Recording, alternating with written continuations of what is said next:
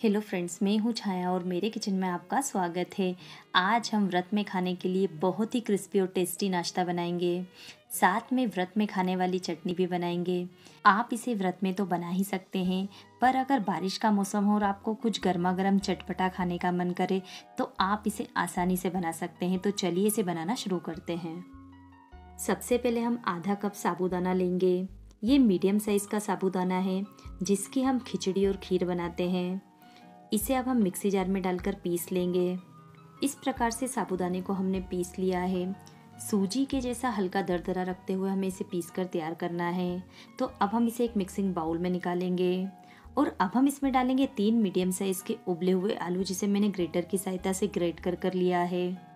साथ में डालेंगे आधा कप भुनी हुई मूंगफली का पाउडर। एक हरी मिर्च बारीक कटी हुई।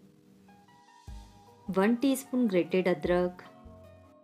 छः से सात बारीक कटे हुए कड़ी पत्ते, थोड़ा सा हरा धनिया बारीक कटा हुआ, स्वाद के अनुसार नमक डालेंगे हाफ़ टी स्पून जीरा one teaspoon chilli flakes या कुटी हुई लाल मिर्च तो अब हम इसे अच्छे से मिक्स करेंगे।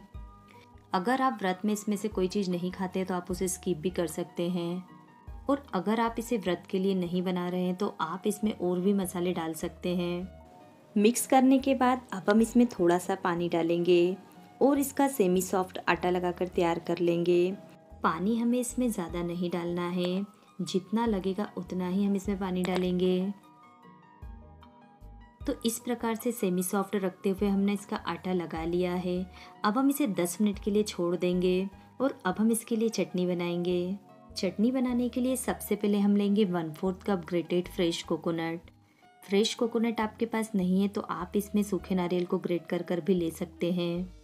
अब हम इसमें डालेंगे थ्री टेबल स्पून भुनी हुई मूंगफली, आधा इंच अदरक, दो छोटी हरी मिर्च, थोड़ा सा हरा धनिया वन फोर्थ कप फ्रेश और गाढ़ा दही वन फोर्थ कप पानी डालेंगे। चटनी की कंसिस्टेंसी आप अपने अनुसार रख सकते हैं। स्वाद के अनुसार नमक डालेंगे और अब हम इसे ग्राइंड करके एक बाउल में निकालेंगे। तो चटनी को हमने बना लिया है। अब हम इसके लिए एक तड़का बनाएँगे। तड़का पैन में वन टीस्पून तेल डालेंगे। तेल के गर्म होने के बाद गैस की फ्लेम को हम बंद कर देंगे और अब हम इसमें डालेंगे हाफ़ टी स्पून जीरा, एक लाल या हरी मिर्च बारीक कटी हुई छः से आठ कड़ी पत्ते। तड़के को अब हम तुरंत चटनी के ऊपर डाल देंगे और इसे मिक्स कर देंगे। तो चटनी बनकर तैयार है, अब हम इसे अलग रखेंगे। आटा भी 10 मिनट में अच्छे से सेट हो गया है, अब हम इसे थोड़ा सा मसलते हुए चिकना कर लेंगे।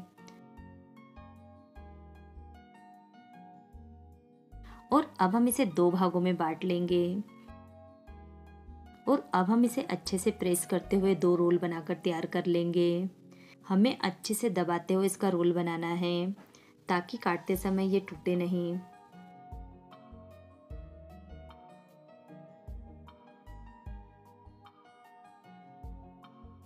तो दोनों रोल हमने बना लिए हैं। अब हम इसे तुरंत भी काट सकते हैं, पर हम इसे पाँच से सात मिनट के लिए फ्रीज़र में सेट करने के लिए रखेंगे। पाँच मिनट बाद रोल को फ्रीज़र से हमने बाहर निकाल लिया है। अब हम इसे कट करेंगे।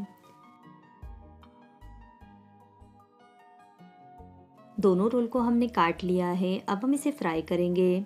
अगर आप इसे एक साथ फ्राई नहीं करना चाहते हैं तो इसे किसी भी डब्बे में पैक करके फ्रीज में रख सकते हैं और इसे अगले दिन निकाल कर भी फ्राई कर कर यूज़ कर सकते हैं। अब हम इन्हें फ्राई करेंगे।